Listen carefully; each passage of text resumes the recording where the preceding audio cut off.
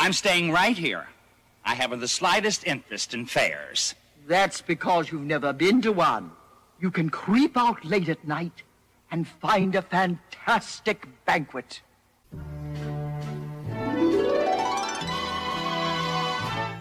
A fair is a veritable smorgasbord, smorgasbord, smorgasbord, after the crowds have ceased. Each night, when the lights go out, it can be found on the ground all around. Oh, what a ratly feast! Why, a fair has enough disgusting leftover food to satisfy a whole army of rats. Is this true? Is this appetizing yarn of yours true?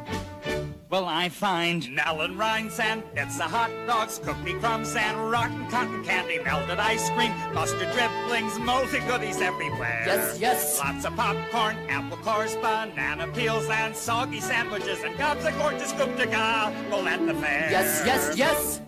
I like high living, but you say tempts me. It's true. Go to the fair, Templeton. You will find that it will surpass your wildest dreams. You mean tin cans with particles of tuna fish sticking to them, greasy paper bags stuffed with rotten eggs? Yep, yep, yep. True, true, true. That's enough. Don't tell me anymore. I'm going. A fair is a veritable smorgasbord, smorgasbord, smorgasbord, after the gates are shut. Each night when the lights go out, it can be found on the ground all around. That's where a rat